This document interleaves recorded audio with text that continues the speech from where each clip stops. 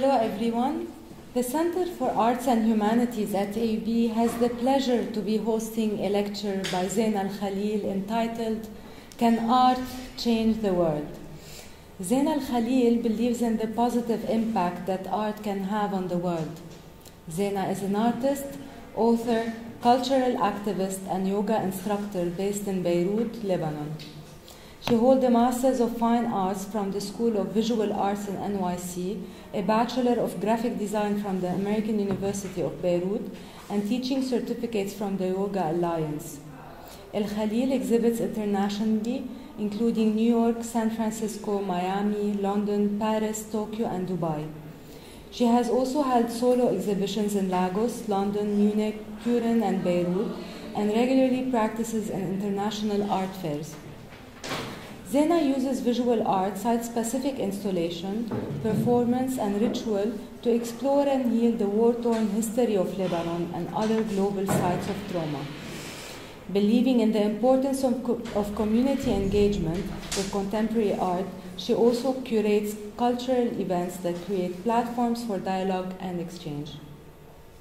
In 2008, she was invited to speak at the Nobel Peace Center in Oslo and soon after completed her memoir, Beirut, I Love You, now translated in several languages.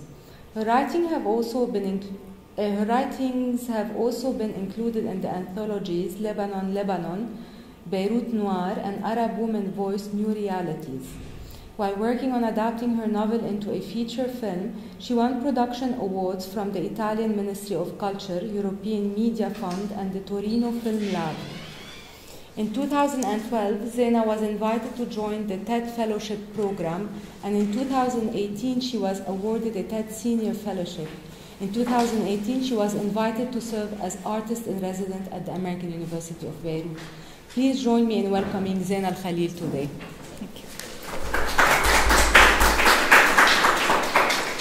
Thank you very much for coming out today. Um, like I was saying earlier, I've kind of thrown together a little mix um, of uh, things here and there. And um, we're going to go for a very casual, unstructured uh, talk today. So, more of like a living room conversation, if that's okay with anyone, everyone. If at any point you need to interrupt, go ahead and do so. Um, I'd rather this is more uh, casual uh, than formal. Is that okay with? Yeah. All right. Great. So, um, can art change the world? Let's see. Maybe how many of you, before we start, think that it can? Okay. How many think it can't? so we're all in the spirit of believing that it can, and I, I do think that it can, and many people do. Um, and many people have changed the world through simple acts, um, through painting, sculptures, performance. You know, I'm sure I don't need to get into uh, details. I'm just going to cover a few uh, pieces that um, uh, inspired me growing up um, to really put the connection between art and activism. Um, you all remember this piece uh, by John Lennon, Yoko Ono, Bed Peace, where they, they stayed in bed um, to make peace. It was a protest against the Vietnam War at the time. Uh, there's another piece that they did in Times Square. Um, war is over if you want it. Um, so th- that was some of the early influences. Um, then moving on, uh, there were the women that influenced me too. The Guerrilla Girls played a very big part in my education as an artist, as a woman. Um, and it also uh, led me to see the world in, um, in a very specific way. I became critical. Um, I developed skills where I would question things like why aren't there more women in the museums and why aren't more women in uh, exhibitions and collections. Um, so that kind of started the, the, the questioning bug. Um, then, of course, there was street art. I mean, this is Banksy, who we all know today, but there was all the stuff that I saw on the walls growing up. Um, a very big impact was um, uh, the work of Marina Abramović. Um, this is the piece that she made as a reaction to, um, you know, the part of the world that she comes from and the massacres and the genocide. And I'm going through all of this very quickly because I'm sure a lot of you are uh, um, informed about these works. Um, we, so, does everyone know this piece? So, this was a piece she did for the Venice Biennale in 97 and uh, she basically scrubbed bones for I think it was a month or something in uh, the basement of uh, one of the buildings, and it was a commentary on genocide and mass murder. Um, and she basically sat there rubbing the blood off uh, animal bones um, day and night. So at this point now, I'm starting to connect to the idea of body and using the body to create work and putting the body through uh, difficult um, uh, circumstances in order to make a statement through art. Uh, this is Tehching Hsieh.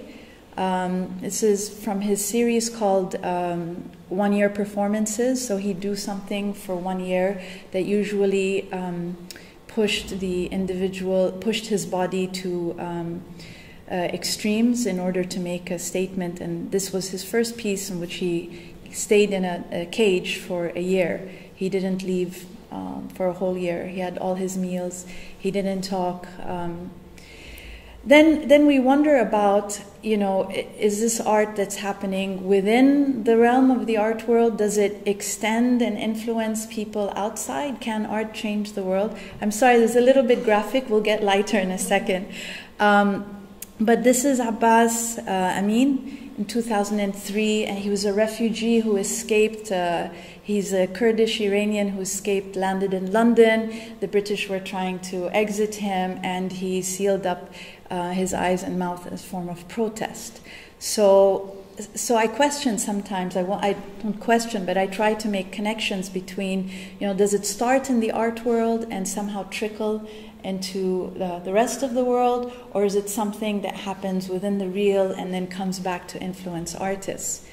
Um, there's also the work of Ana Mendieta, um, who used her body uh, as um, she was a Cuban in exile in the States, and uh, she created these earthworks with her body, contouring her body with earth, rocks, even blood and this was a way to somehow uh, demolish boundaries and kind of reunite with her homeland. Um, so this, her works dealt a lot with displacement and questioned nationalism and gender identity, and these were things that I started picking up on um, when I was younger. Now, this is all kind of stuff that uh, we see being created in the West. What about here? What about the stuff that's homegrown? I'm going to jump straight into uh, 2011. Hello. Um, with the Arab Spring. And I'm sure you guys all remember this photo from the internet. Have, have we all seen it? Yeah? So this, was a, this is in Cairo, and this is a lady who was uh, peacefully demonstrating, and uh, uh, she was attacked by the police. And this made headlines around the world because she was actually um, in a hijab. So it uh, raised the alarm bells that you know not only was a woman being attacked, but this is also um, a woman in a in a hijab, and so so we started reacting right as artists as um, what did we start doing? This is the work of Bahia Shehab. Uh, Bahia was also a student uh, here at AUB 20 years ago, and um, and to kind of bring to light um, the atrocities that was happening, she started spray painting. Um, her famous piece is called A Thousand Times No. If you haven't seen her TED Talk yet, it's incredible. It's about this work. And then she started uh, stenciling the blue bra piece also. Um, and then it suddenly became this kind of like superhero. You know, this blue bra lady could come back and, and hit back at any time. And so again, here we're seeing this crossover between what's happening in in let's call it the quote unquote real world and then the art world and the crossing over that happens. And it was, I mean, 2011 was such a profound year that, um, you know, Time magazine called us, the protesters, uh, person of the year, everyone who took down to the streets.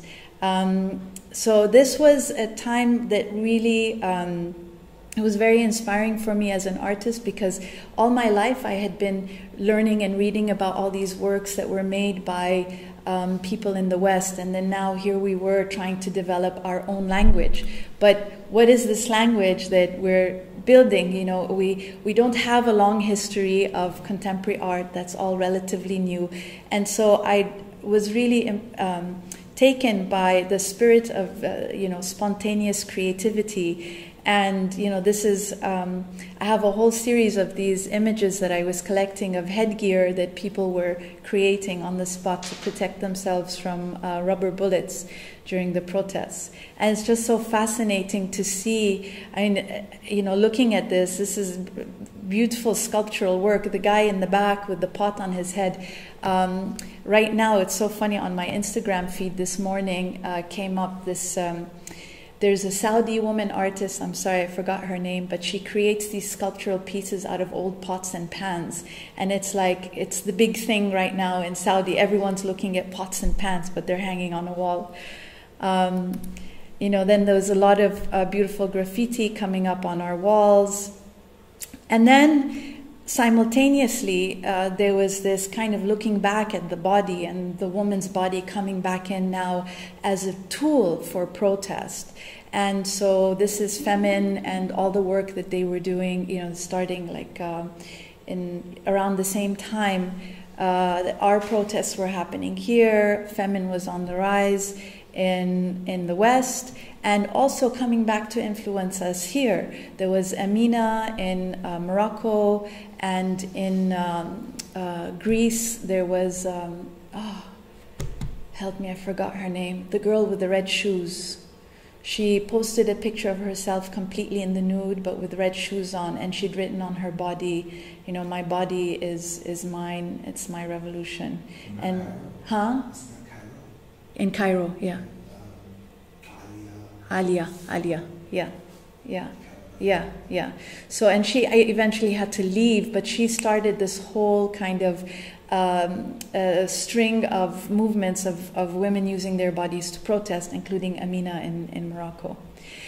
And then there's all the stereotypes that we were starting to address. Um, this is a work by Sharif Waked in which, you know, he has that typical um, you know, martyr video, uh, except here it's the handsome Saleh Bakri. And instead of reading, uh, you know, from the Quran, he's actually reading things, I believe it's from Thousand and One Nights. Um, and but still in the same serious tone. And it was really a kind of play on people in the West and how they view us uh, and how they view Arab men and the stereotypes. So it's really a, a, very exciting time to be an artist in this part of the world because there's just so much going on and there's so much that we can do. Um, uh, as artists, to um, to make statements, to make changes. Um, now we're going to take a little break from art, contemporary art uh, um, uh, happenings and uh, move on a little bit to um, uh, to my life. Um, when I saw this, so this is also a Can Art Change the World piece because I saw this when I was eight years old and um, I'd been, I grew up in Africa, in Nigeria, and um, uh, I had no exposure to, let's say, more um, refined uh, art um, I was very much connected to the earth and shamanic practices, but I had not really had exposure to works by um, European artists. And then I saw this painting and uh, at the sculpture, sorry, and at that moment I knew in all my being that I wanted to become an artist. I was very young, um, around eight years old, and I had no idea what it was. I had no idea who Michelangelo was, but there was something about the power of the piece. Just, just that, just the piece without even really knowing what the message was behind it, if there even was a message. Um, it didn't matter. There was something that radiated magically from this work, and it just took my breath away and at that moment, I decided whatever it takes, um, I'm going to be an artist. So, fast forward um, to 1994, I moved to Beirut. Um, at the time, um, my family wasn't living here, so it was a conscious choice I made uh, to come and be part of the rebuilding of the country. I'm not a nationalist, but it was a kind of pull, um, perhaps uh, divine fate, destiny again, a little bit of that magic that I feel very connected to.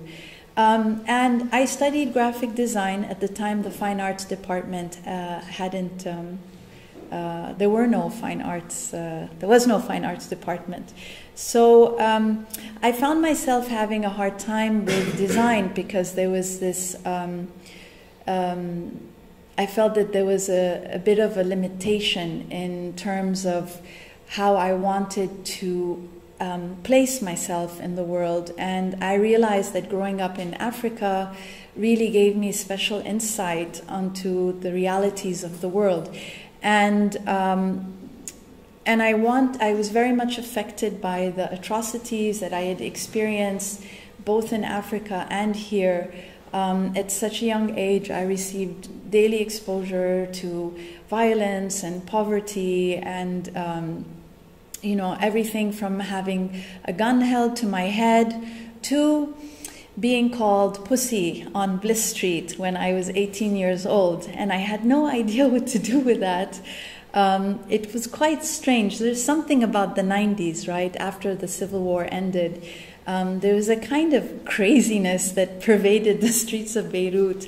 Uh, but I was open to it. I was 18 and I was um, hungry for, uh, for this type of rebirth, this rebirth energy that, that Beirut was going through. So, th- this I would say is my first um, official work of art, where I tried to incorporate some graphic design skills, but it was mostly the influence of the Fluxus movement that was really is, is what um, put this piece together. And um, it was a play on, on um, let's say, early kind of um, feminist work meets humor. Um, something that was very important to me was that you know um, humor could go a very long way in getting uh, your point across. So this was my AUB ID, and I stuck these all around campus. And the idea was to see what people would circle, and then I'd collect them, and I'd know if I was a pussy or a woman. Um, Unfortunately, they didn't last very long because some people thought someone was doing this um, uh, as a trick or in, to spite me or something. Um, so, for my own protection, uh, some friends removed them, and so I never got my answer until this day. I don't really know um, what I am, and. Um, yeah, so then I started another series uh, where I made these cards uh, and I was collecting words that people would say to me on the street. I don't know what it was about the 90s. It's like men just had to um, you know, make these sexual comments and innuendos all the time. It's gotten much better. I, I don't hear it anymore, but it's probably because I've now put on at least 10 kilos and have white hair, so maybe that's why they've left me alone. Um, no, but the city has changed. It, it's definitely calmed down a lot. So I made these little postcards. Um, I am not pussy. Anna mani ashta. I'm not ashta. I'm not whipped cream, uh, sweet cream. And I leave them in taxis, in services, because that's where I got most of the, the comments uh, back then. Uh, when I think about it, I don't know, perhaps it was maybe I was so curious um, and hungry and ready to be an artist that I perhaps purposefully put myself in situations where things would come up so that I could kind of um, have some kind of visual reaction. And of course, here there's still, I'm trying to be a graphic designer um, cards. um, so I'm done with AUB now, and uh, I decide to become a full time artist and let go of um, of the design world, but you can still see some of it in compositions. And in this in these series of work, they're uh, early um, again, it's this, you know, it's this daily interaction with Beirut and my place as a woman and um, topics of the body. And so I made a series of works where, in a way, I um, took the figure of the macho, macho man and really tried to um, subdue him. Um, and again, this was a humorous way to just, you know, to poke on topics of violence and aggression and war. Um, I used a lot of plastic at the time because, in my eyes, plastic is made from oil, and oil is what mankind is at war for, and so the materials had to reflect uh, the topic. Um, and the works at this point were often categorized as kitsch, but I, I don't think of them that way because there's a very strong um, feminist message behind them. I just didn't really fit into um, a category. And so, uh, showing these works in the West, oftentimes um, the works would be um, simply categorized as kitsch. But there was a lot of uh, personal anger and stress uh, that informed these works. A lot of the materials I picked were from daily life around me. So, this is what was available in Beirut in the early 2000s. Um, then I started getting into performative work, and uh, this is this piece um, first started off. Um, it was called Wahad Aris, please, and it was a time in my life where. Uh, so that means a husband, please. It was a time in my life where. Um, you know, as women in this country, you're expected to get married at a certain age, and um, I didn't want to have any of that. Uh, it, you know, the tradition is that mothers come and check you out. So instead, I put on a dress and went out in search of a man who would have me. And um, um, after 2006 war, I changed the dress slightly and I changed the mission of this um, performance, and I now called her the Pink Bride of Peace. This was after the, the war, the July War. Um, at that point, my whole life changed. So, all this work I had been doing, um, you know, in the beginning, um, forget it. It just, nothing, I just felt like there was no point in pointing fingers anymore, and I wanted to um, develop the work to become a platform for healing. But at the time, I didn't know. Um, I didn't know uh, how it would manifest. So here, she's the pink bride of peace. Um, I don't do the performance anymore. Um, this performance went on for 15 years, and then no, because I missed a year. I would say, let's say, 13 years. Um, and she has now retired. She's doing other things. So in 2006, um, there are three events that marked my life, and uh, as an artist, changed the way I view the world and the way I make my work. Um, this is my best friend, Maya, my soulmate. This is a picture taken in 1995, I believe, 1994, and we're on my rooftop uh, here in Ain Mreisi.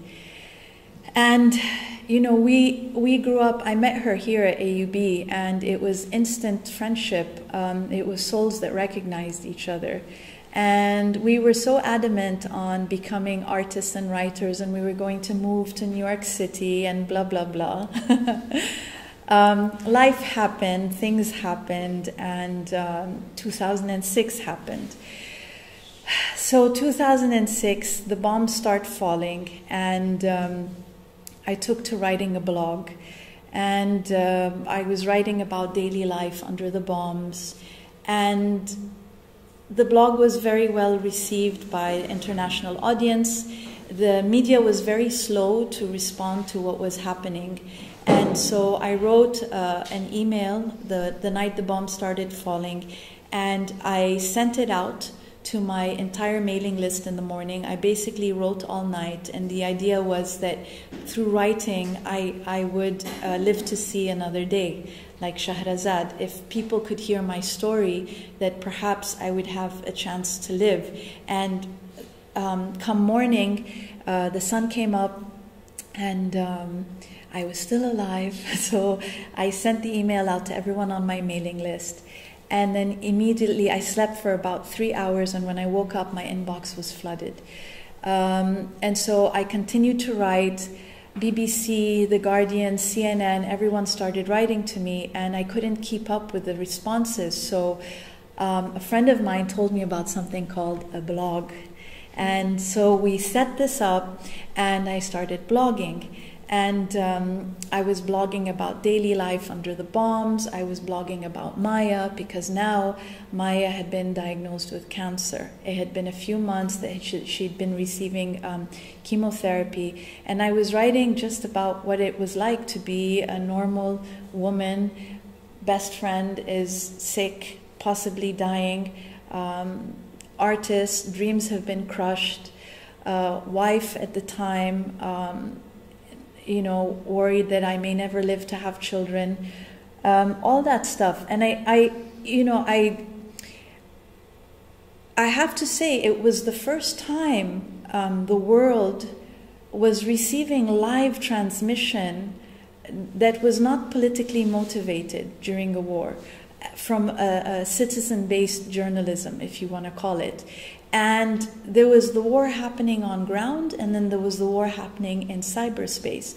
And soon, so many um, people started blogging too.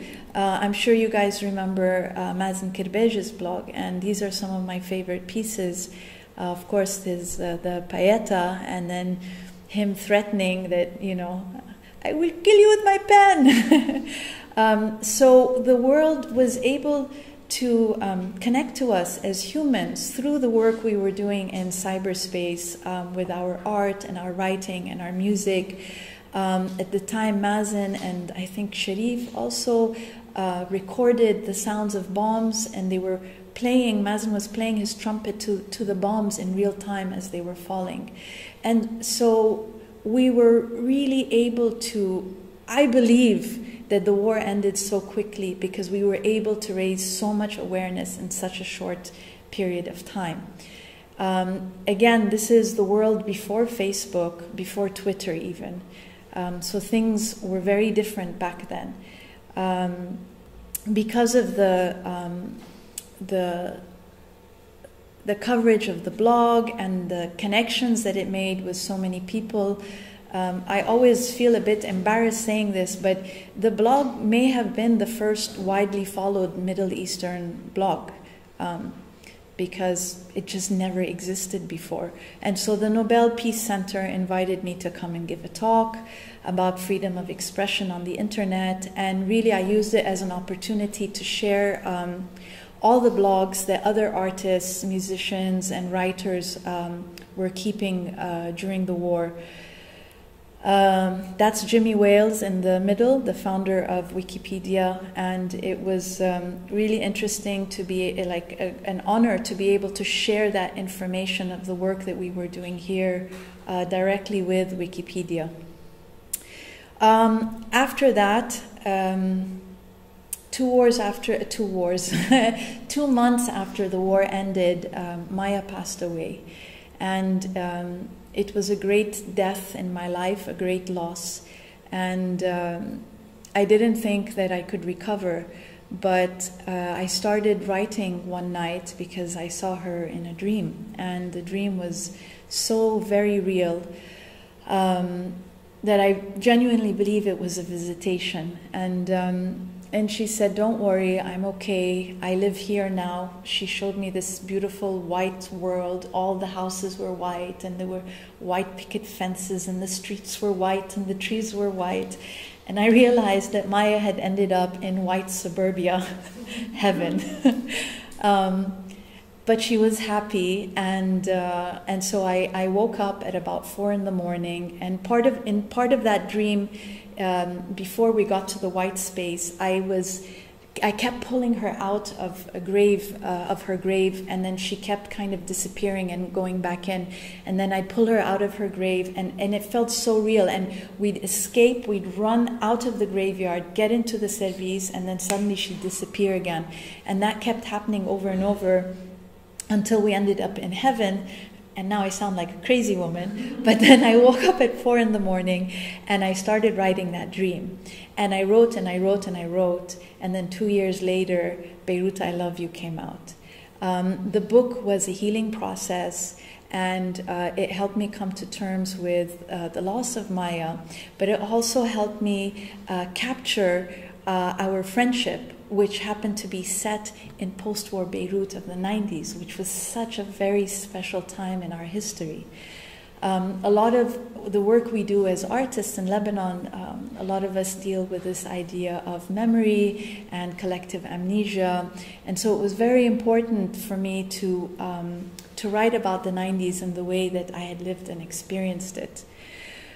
Um, so at this time now, I'm starting to feel a little better. And oh, I also divorced. And um, so there was the war, there was destruction, death, and divorce. Those were the three, um, the three Ds of 2006. But that completely catapulted my work in a new direction.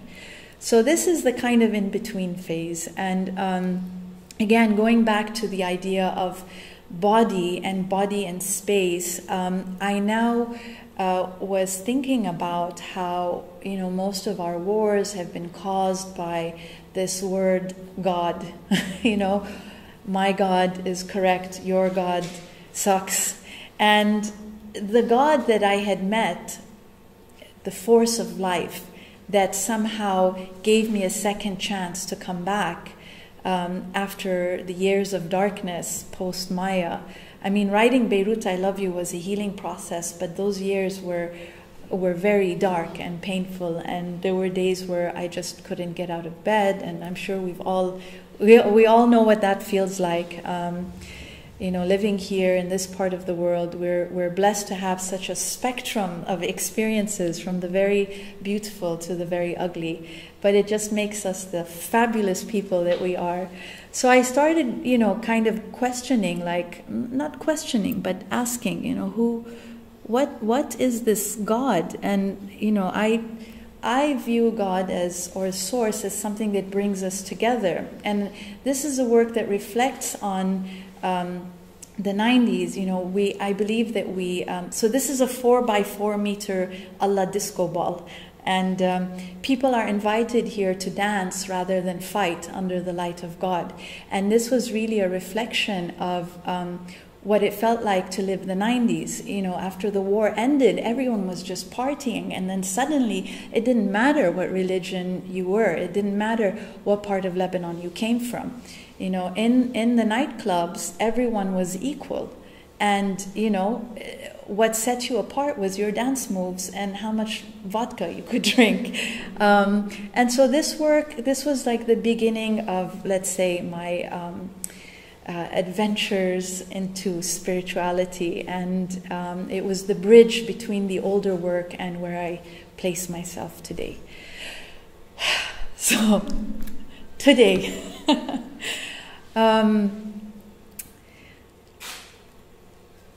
space without the dark could not hold the stars.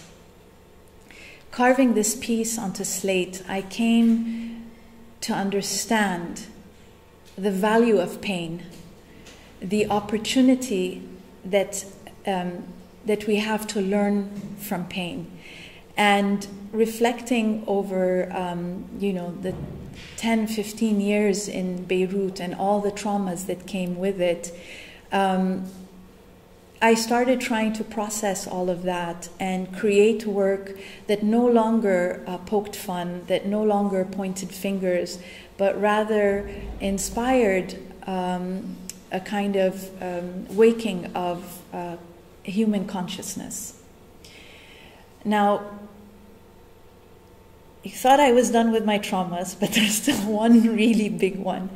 Um, and this was really the transitional moment. Um, so, our house, I'm from the south of Lebanon, from Hasbaya, and our home was taken during the uh, Israeli occupation and turned into a military detention center.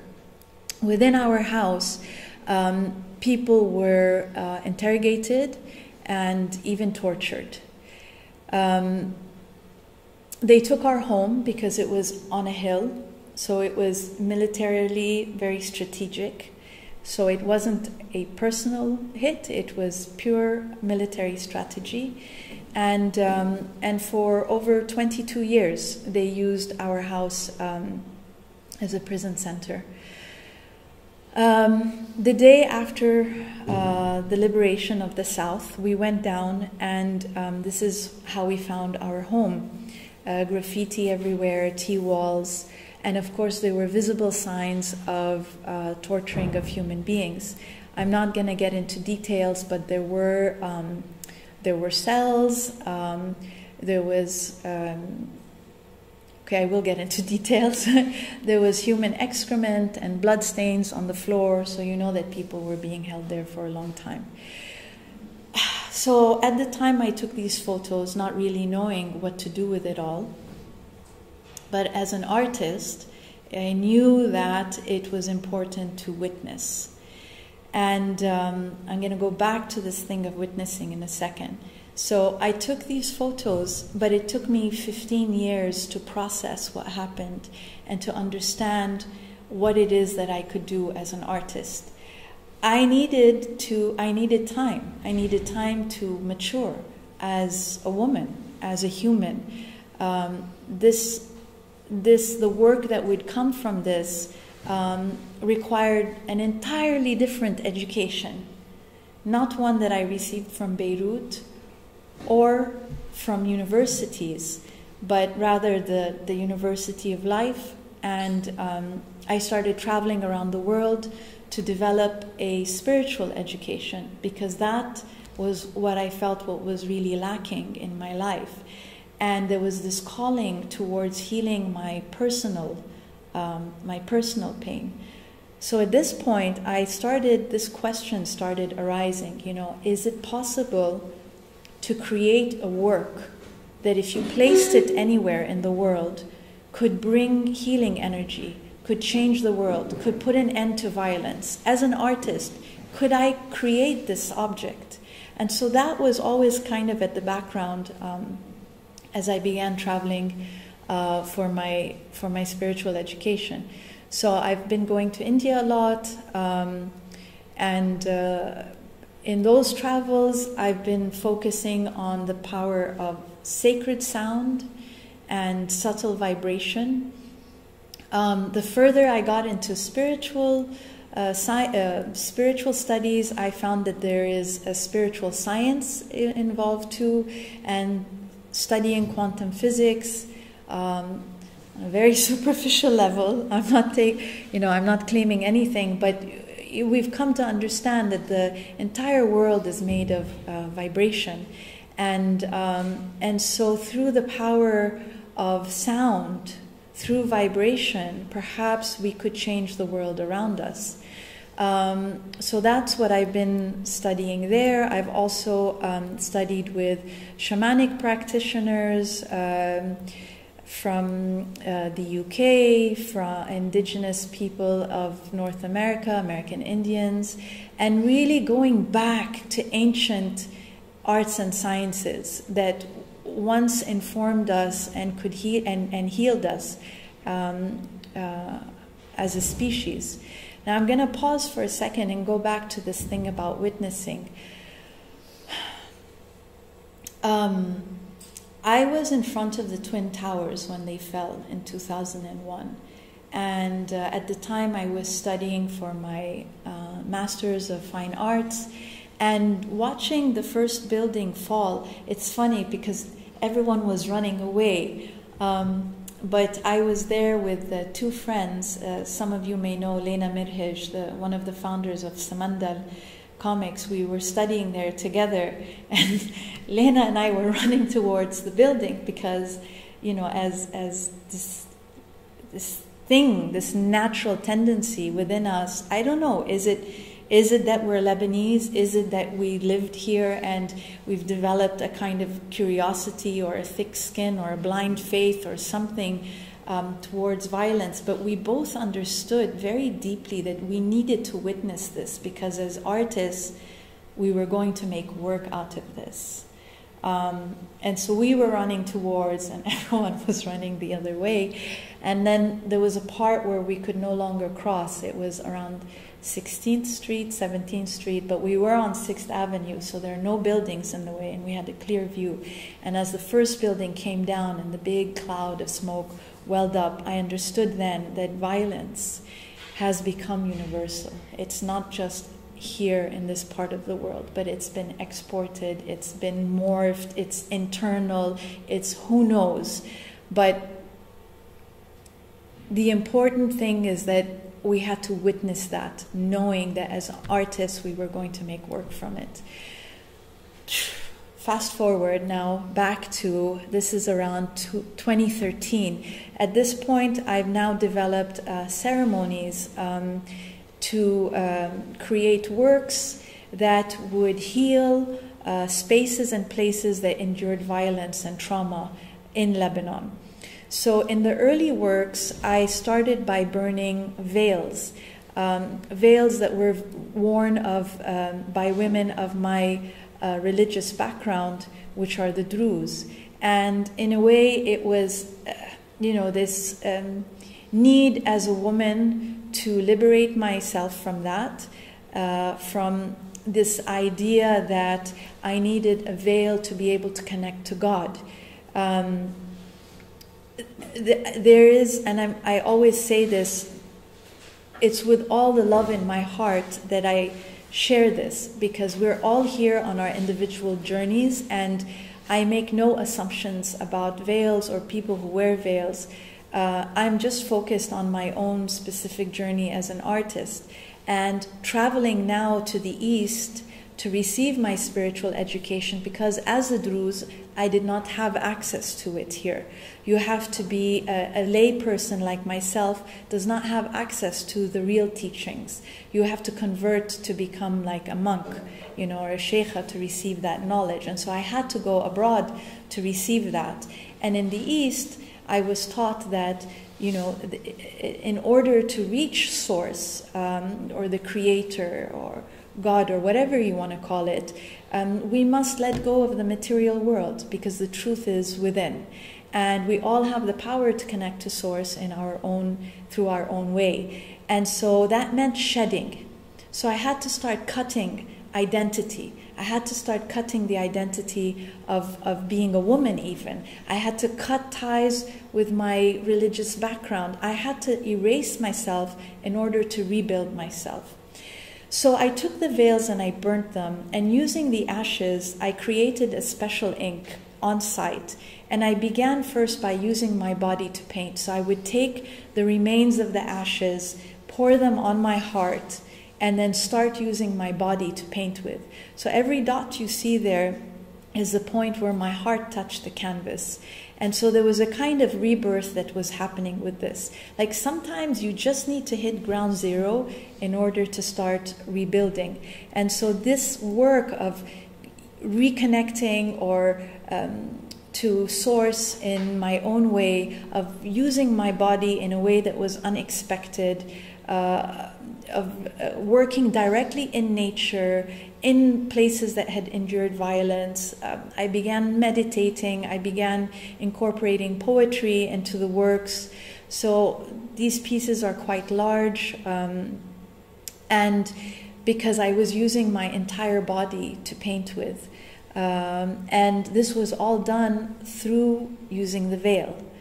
Um, here in this piece, for example, you can actually see parts of the remnants of the veil that was stuck on.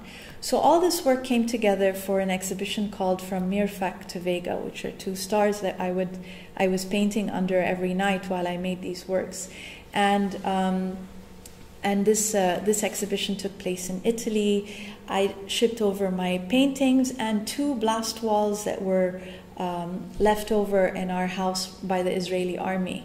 So here we're working with objects as witnesses, and each wall is uh, basically a ton and a half. So I shipped three tons of Israeli concrete to Italy.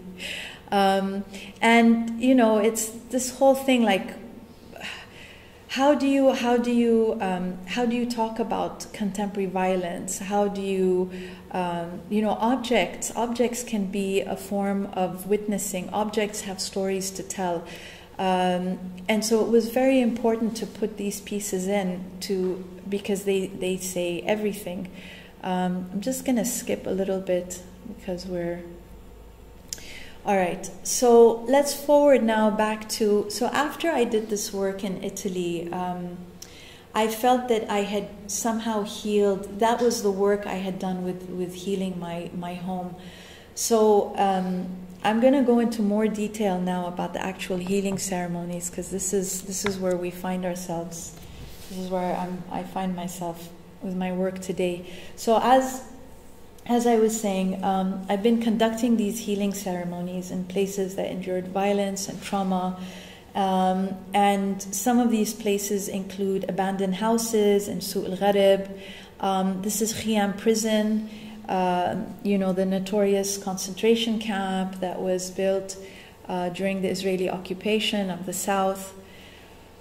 Um, um, I also, so both my parents' houses were destroyed um, during the war. So my dad's was taken by the Israeli army. My mom's was blown up by the USS New Jersey, the American battleship that was parked off the waters for a while and shooting aimlessly into the, um, the mountains. So this is this is not my mother's house because it was rebuilt right away uh, in the 80s, but this is a house uh, very close to it that was shelled during the same uh, bombing.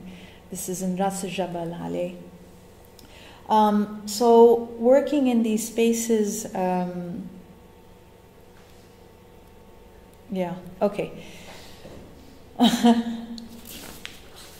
All right. Let me go into details of what the actual ritual and ceremonies are because it's through these rituals and ceremonies that I actually create my work.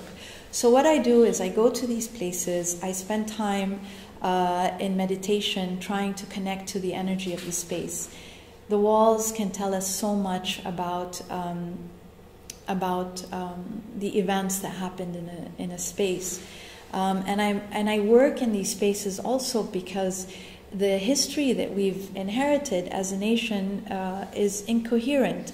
As you know, um, history post 1975 is not taught in our public schools.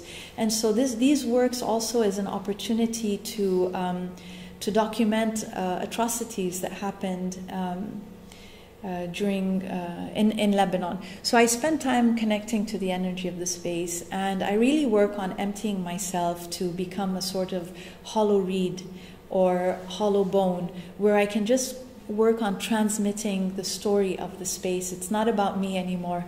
I've dealt with my trauma, alhamdulillah.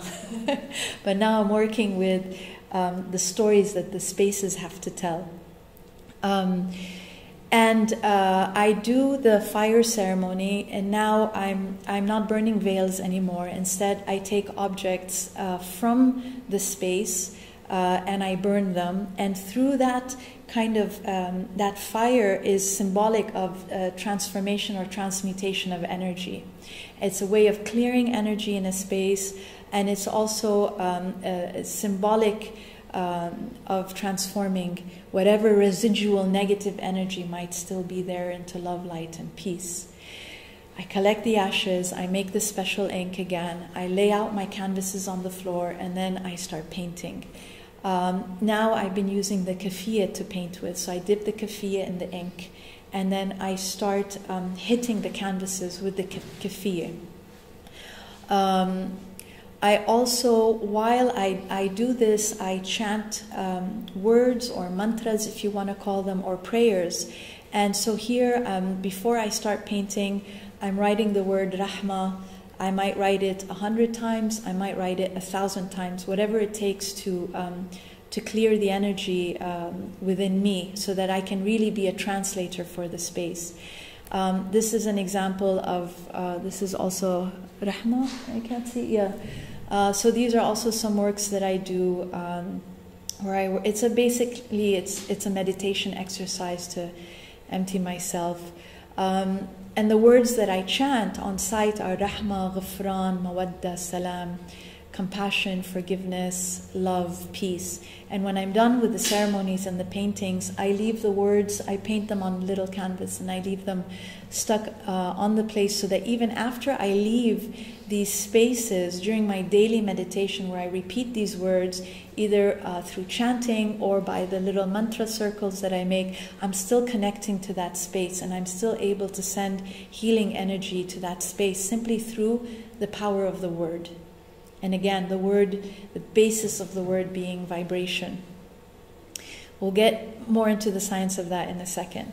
Um, in the end, I do a whirling ceremony, um, and it's an offering that I make to the space to directly connect that place of pain uh, to the higher powers that be, whatever you want to call um, it, her. Um, this is an example of one of the pieces uh, I made with the kafiyeh. This was made at the Grand Hotel Sofar. Um, this was in 2013 or 2014. Um, so you can see traces of the kafiyeh. This is a piece I made on Ramlat al Baida. Uh, Ramlat al Baida Beach was um, in 2006. If you remember, our fuel reserves were hit by the Israeli army, and 15,000 tons of fuel uh, fell into our uh, Mediterranean. It's the largest environmental disaster of the Mediterranean, which very few people um, speak about. But um, so this work also aims to uh, to document, um, uh, you know, that event and keep it in our recent history. Um, so th- that whole body of work uh, took about five years to make, and uh, last year I held a, an exhibition at uh, Beit Beirut, which is this building over here in Sodeco Square, and um, and uh, I showed the works that were produced. I'm going to show. Connector to Sorry. Khalil 2014 and iPhone. Thank you. Okay, I'm going to show a little video of um, one of the video. So the exhibition, I showed paintings, sculptures, video, sound art pieces. The sound pieces were made th- uh, through recordings of the chantings that I did on site that I later turned into soundscapes. Um, this is a very short uh, video. So we started a little bit late. Um, if anyone needs to leave at three, please go ahead. I think I need another a good ten minutes to finish the talk. But if any of you need to leave at any time, please go ahead. So let's watch this. Hope it works. Yeah.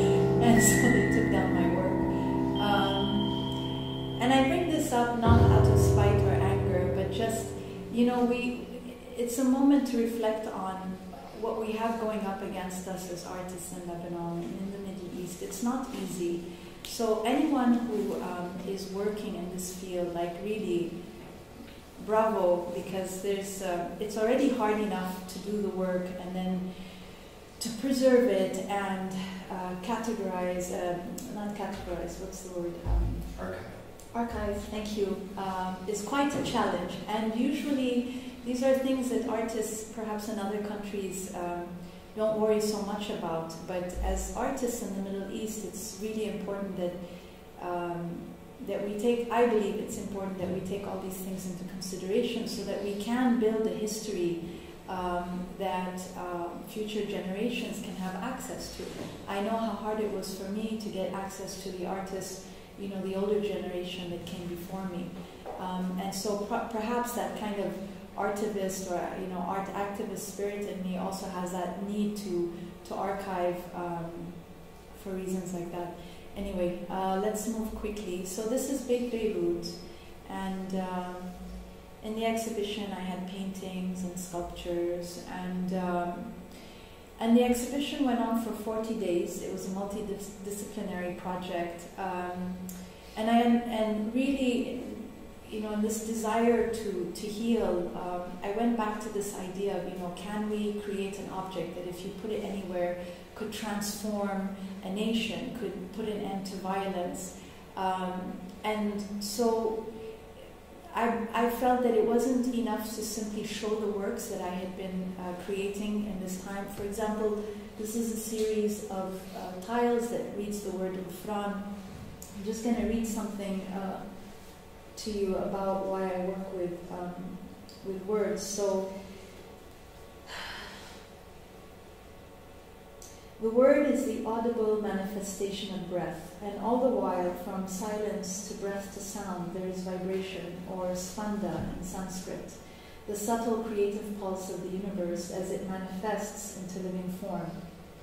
And it is these words that have powerful healing vibrations that I choose to work with.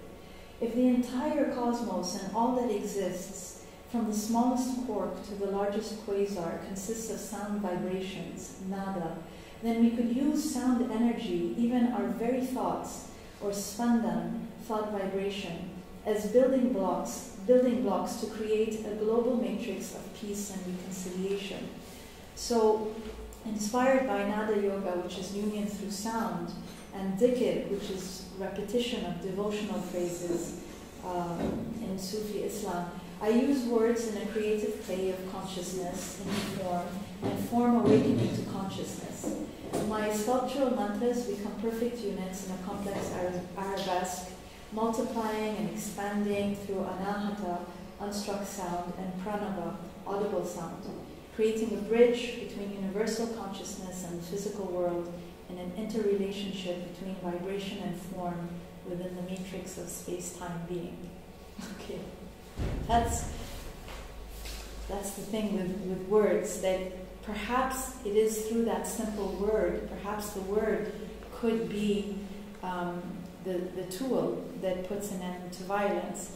But um, as I continued with the work um, and put this show together, um, I realized it would be really um, what was missing and what I had been learning in my travels was the potential of the human. And perhaps it wasn't an object, uh, but perhaps the human was the object.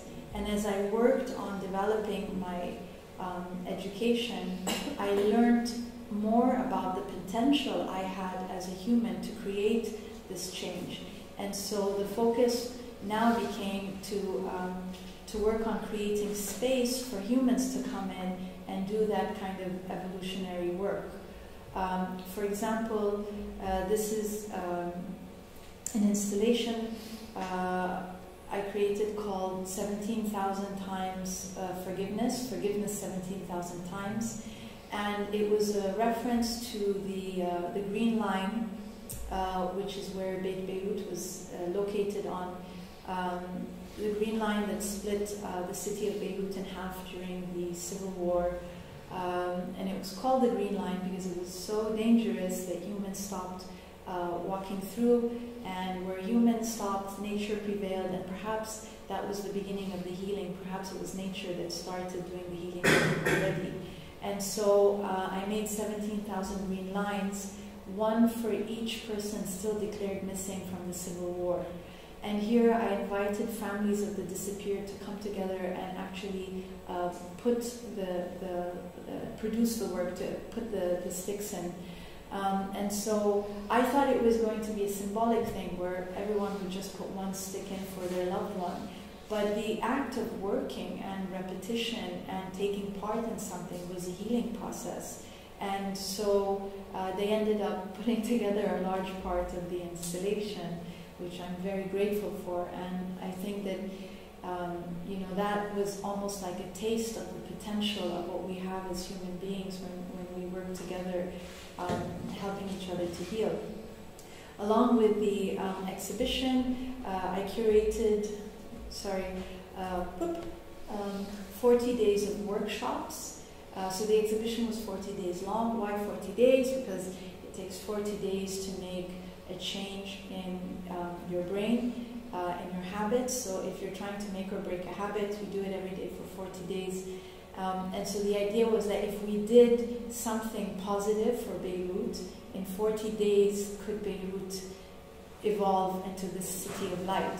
So we had, um, and the idea was also to help people develop their own toolbox of uh, healing techniques and modalities. So I invited people to come in and give workshops, whether it was um, uh, introduction to yoga or Reiki. Uh, Muna al was giving um, weekly tours of the buildings, as you may know. Uh, it was Muna who saved the building um, to begin with.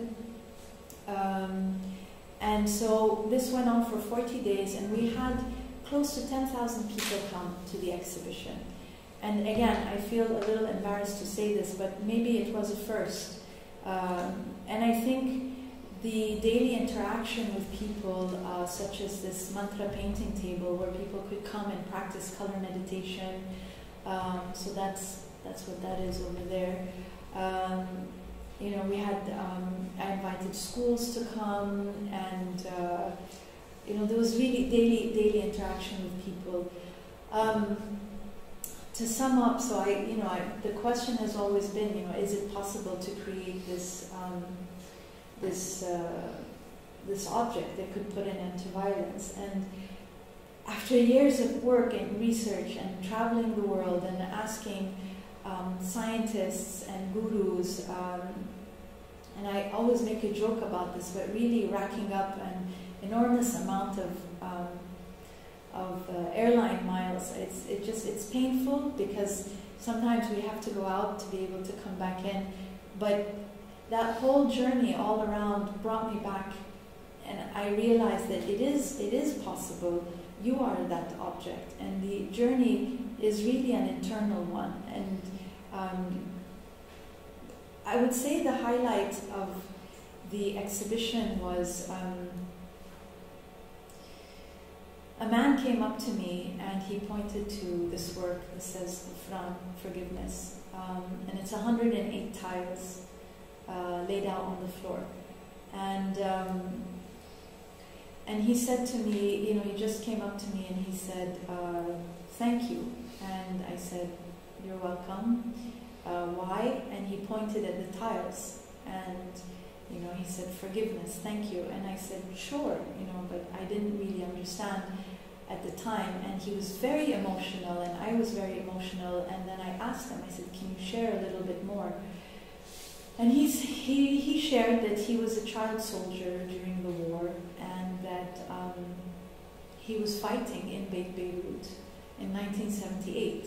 And uh, and he left Lebanon in 1978. I think he was about 13 years old. Um, and he'd never been back since then. And he worked on years uh, trying to heal himself. Um, he, he walked mountains for three years in Europe. That's how, that's, he told me that's how he healed. It was through nature. And it was this kind of excruciating, you know, putting his body um, pushing his body to extremes, and then the, the natural healing effects that came through nature that helped him heal. But he had never been able to come back to Beirut. And as soon as he walked in, he was very uncomfortable. He had his daughter with him, and he felt ashamed. Um, but the first piece he saw was this piece on the floor um, that said forgiveness. And so at that moment, I realized really the power, the power of art and human connection, and how important it is when trying to heal a nation that we also work with the, the men behind the guns, you know, especially the men behind. And for me, that was really full circle to the works I had been doing um, 15 years ago. Um, I felt that I had finally found my platform and way to communicate with people who had been, who had been um, violent or aggressive with me in the past. And so, and so yes, you are that object. Going to read a little something. You are that object. You are the greatest work of art ever created. You can work on a personal level to become that instrument of peace, as peace starts within. If we can tune ourselves back to the resonance of universal love, which I have come to learn is our true essence, universal love, then everything else falls into place. We are that object. Art is the tool, and love is the way, connecting us all to everything that ever was and ever will be, every atom, every leaf, every whale, every star, every breath come together to create the beautiful fabric that is this here, us now, love, love, love. Thank you.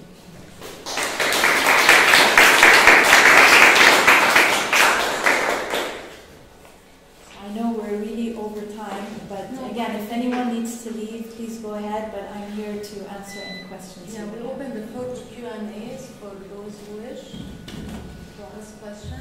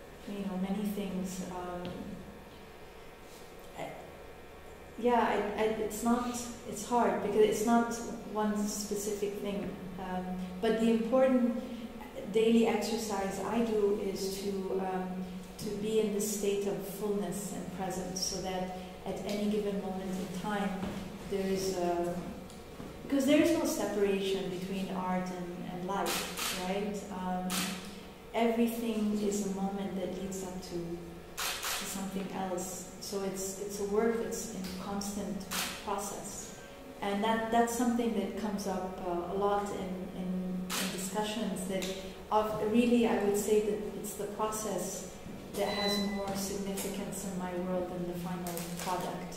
It's a process of, of making, of being, um, and the final product is just a, is circumstantial to the process of, of production. Yeah.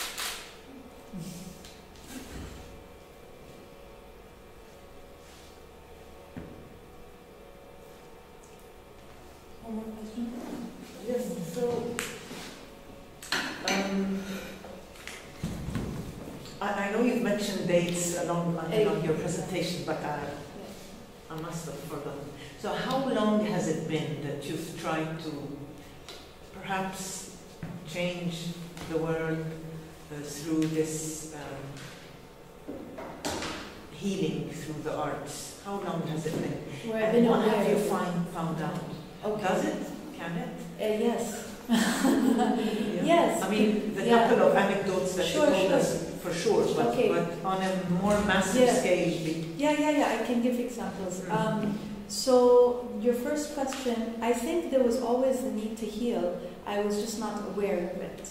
Um, so the, the, when it became um, uh, in the foreground and uh, was probably um, after spending time in Hasbaya in the house, because that's where the transformation happened. That's where I developed, you know, this kind of insight that um, uh, of the tools uh, that I need to use and the techniques and um, the need also. So that would be like around uh, 20, 2012, 2013 okay. was when I was spending a lot of time in Hasbaya.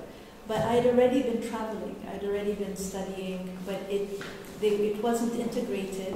There were two worlds happening, and then they integrated around them. Um, as for is are there change like did things change? Yeah, I mean I can say that with um, the Beit Beirut exhibition, Yes. Sacred Catastrophe Healing Lebanon, um, from this exhibition a lot of new things came up.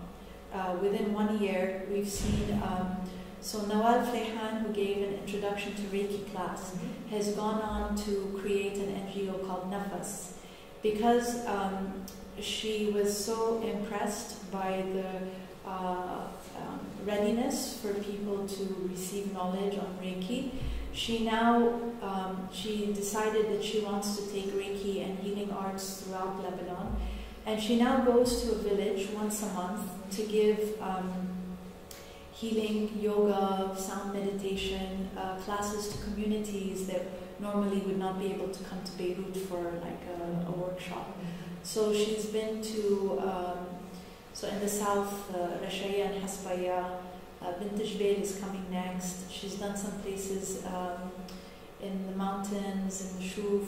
Um, so, yeah, like almost every month. So that's an example, and that's something now that's spreading um, like wildfire. It's just amazing because you see how much need there is for, for healing, and that people are ready to come together. And that was another thing we saw at, at Beit Beirut is that we often think that we don't want to talk about our pain or we're not ready as a community, as a community, but it was quite the opposite there. Um, some people would come several times. Uh, there was a lady who came out of the 40 days. She was probably there for 30 days, and she would paint a mantra, you know, every day and just listen in. So there was that. There's now, you know, this year we've seen the use of um, a lot of abandoned spaces being used as uh, cultural. It's not new, but it's suddenly, you know, um, it's all. Uh, there's a kind of spirit that's pushing uh, more art to be displayed in, um, in abandoned spaces. So, because of the work I was doing at the hotel, uh, the owners may have felt inclined to, I don't know, to maybe they had already decided to kind of um, refer, like, uh, open it up to the public. And so there was a great um, exhibition by Tom Young there Yeah, a couple months ago. Um, you know, a lot of the people who had come in for yoga classes are still going. Um, a lot of students uh, are practicing meditation. Um, yeah, and there is like this thing now where we can talk about art and healing, I think, in the same sentence. Like it's opened that discussion up. Um. Yeah, I think, um, you know, I, I haven't been yet, but I heard that the Salon d'Automne at Sursock this year is very kind of focusing on environment or environmental issues, and that, I mean that, um, you know, that has its roots in healing as well, uh, and it's a, a discourse that is not so common in the past with uh, big art exhibitions. Who knows how these things, uh, yeah. Yeah, but everyone who participated in the exhibition, as in terms of giving a workshop or lecture, has had a lot of interest in their work continue after the exhibition. So more students and things. Yeah. Thank you very much. Yes. Quick question. Yeah. Do you you'll continue this path of healing? Do you think this is something that you want to develop further? And do you think you'll, do you want to kind of continue with that transformation and that subject? And do you think you'll, you'll change your process or your approach towards healing? Yeah. Like have you, have you given it much thought? Um, it's funny because three days ago, after six years of not using color, I painted with color for the first time, and that was uh, it was quite was I mean the issue is just that I was working with with the ashes, and it was really about the imprint of the story, and I felt that color would kind of get in the way of the energetic prints on the canvas. It would become distracting, and what was important was to get the story through the prints. But um, the works that I did a couple days ago, I found myself kind of going deeper into universal consciousness and trying to get into like a deeper, more subtle place. And uh, in terms of in terms of connectivity, and I think that that process is also very healing because a lot of the pain we carry is from feeling disconnected either to community or to source or to nature. And um, so it's very possible that the techniques and the process will change, but I think there is a strong desire to keep going deeper into the essence of who we are and why we're here, and that kind of questioning. Mm-hmm. But like I said before, um, you know, I'm very reactive to the place I live in. I chose to live here because I think that there's a lot of work to do as an artist, and so I want to also be listening in to what the environment wants to tell me because I'm I, I hope to always have this play um, or dialogue with with where I am in the world. Um, yeah. A very specific question. I'm very curious. um, the veils that you Yeah. learned Yeah. that in your transformation phase early on, what were they made of? It's a very thin cloth. It's called a mandil. It's a white fabric. Yes, It's. Yeah. What is it made of? Cotton Cotton. or synthetic stuff? Because Yeah. I am very, Yeah. especially with that first Yeah. Photograph of you in Yeah. front of the uh, Yeah. Yeah.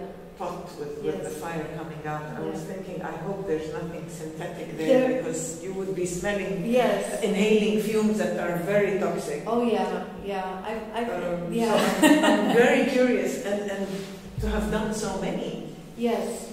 I'm worried about. Yeah. Thank you. No, no, seriously. I'm more worried I'm about health profession, That's why landmines. Okay. Yeah.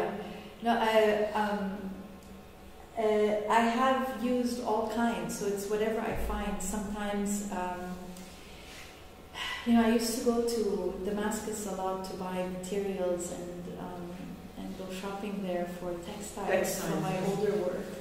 So Yes. I, I have stuff from there. I have stuff that uh, from my from my aunt who's veiled. Some are synthetic. Some just melt into a ball of plastic, and some completely. Um, disintegrate. Yeah, into beautiful ash. Yes. so uh, it it always depends. But like I said, I'm more concerned with the landmines than I am with the. yeah, yeah, and and some of the places where I've worked, I mean, like um, Khiam, you know, um, there's uh, every place has its um, its challenges. Mm. And uh, so sometimes it's toxic. I, mean, even Ramz Baida, sometimes it's literally like in Su'ul Gharib, you know, there's still areas that are unsafe because of landmines. And sometimes it's just, it's also how do you communicate with people that you want to come to this place and do this type of work um, in a country where contemporary art is very new. So I, um, I've had to learn how to also be completely transparent and trusting. Um, and I found that, you know, that was also healing in itself. So getting permission to work at Khiyam prison meant that um, I had to establish meetings with Hezbollah and, uh, you know, to explain that I'm coming to do a healing process. I really I realized the only way this could work would be to be completely honest and open. And that those conversations were some of the most incredible I had because they, they really pushed me hard in terms of thinking like, you know, what is the line between healing and forgiveness? You know, um, do we forget? Do we forgive? Um, does art really make a difference? You know, and that's why I keep coming back to this thing about the, the human, that perhaps it doesn't even matter whatever art it was that was made there. It was the, the conversations and the interactions that was, you know, that's The heart that's, that's where it is. Yeah. yeah. Did you write about these conversations anywhere? Did I write about them? Blog or something? Um, no, no. I'm working on a book now which documents the exhibition. Um, so perhaps there's there might be a little bit of that there. Yeah, like there is some of the stuff I talked about there, but um, it's very different having a conversation being recorded. we'll see, whatever. yeah.